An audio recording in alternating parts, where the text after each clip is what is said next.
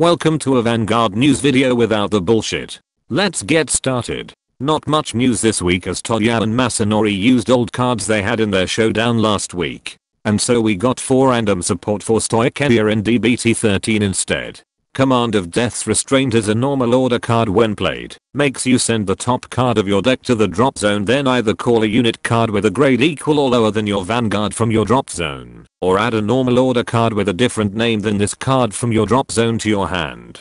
Expect this card to be one of the most expensive double rare in the set as well as the most expensive Stoicheia card since Inlet Pulse Dragon. Which is funny, because it implies that you're supposed to use this to keep recycling it. Spoof Shade while in your hand can be discarded as an order card when an order card would be discarded by your card's ability. And while on the back row rear guard, he gets 10k power if you performed Alchemagic this turn.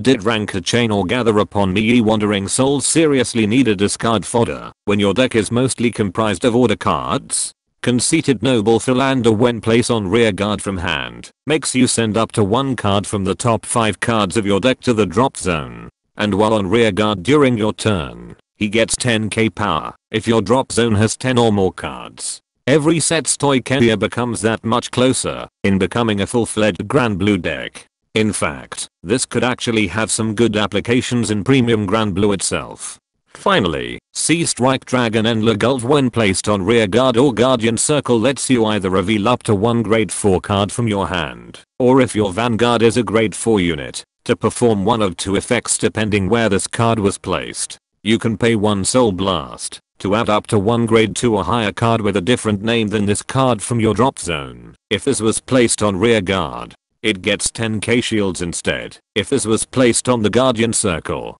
and you draw a card when this was discarded for either the cost of riding a grade 3 from your ide deck, or paying the cost for striding, Keter Sanctuary got Skyrizen in DBT12 because it has been confirmed that Lured is the nation's stride deck. This however boggles the mind seeing as Stoicheia does not have any confirmed stride deck set. I may know which they'll get, but I think I'll save it for another video. And that concludes this Vanguard news video. Be sure to subscribe and let me know in the comments if you can't sleep trying to figure out which Strider unit will be Stoicheia's stride deck.